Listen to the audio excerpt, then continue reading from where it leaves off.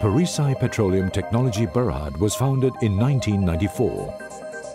With its steady growth and established foothold in the oil and gas industry, Perisai became a public listed company in 2004 when it was listed on Bursa Malaysia. Following a transformational change of business direction and led by new management since 2010, the Perisai Group today owns a fleet of strategic vessels and assets to cater for the growing needs of the oil and gas industry in Malaysia and the Asia-Pacific region. Today, Perisai has actualized the progression from a charter-focused business to an operational entity following the commencement of operations for our production and drilling assets.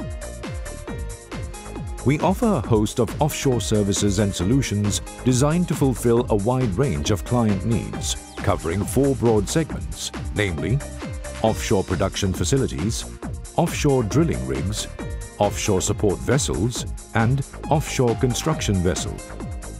The production and drilling segments form our core business in focus.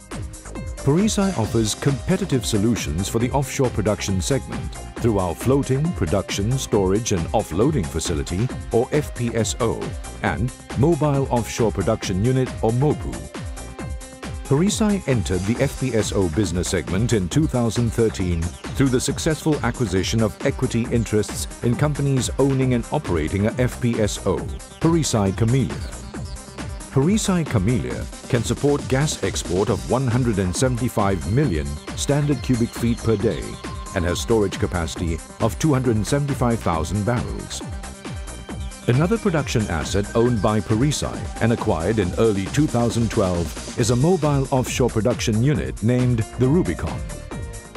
In addition, Perisai ventured into the offshore drilling segment with the construction of three high-specification Pacific Class 400 jack-up drilling rigs, with the first rig, Perisai Pacific 101, delivered in 2014. The second and third rigs are expected to be delivered within the next two years. The rig is capable of drilling in operationally challenged wells that are high pressure and high temperature and has the capabilities to operate at water depths of up to 400 feet and drilling depths as deep as 30,000 feet.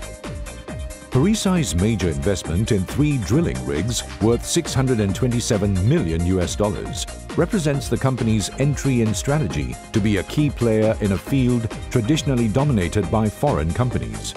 This new drilling business segment is expected to expand Perisai's business in Malaysia and ASEAN.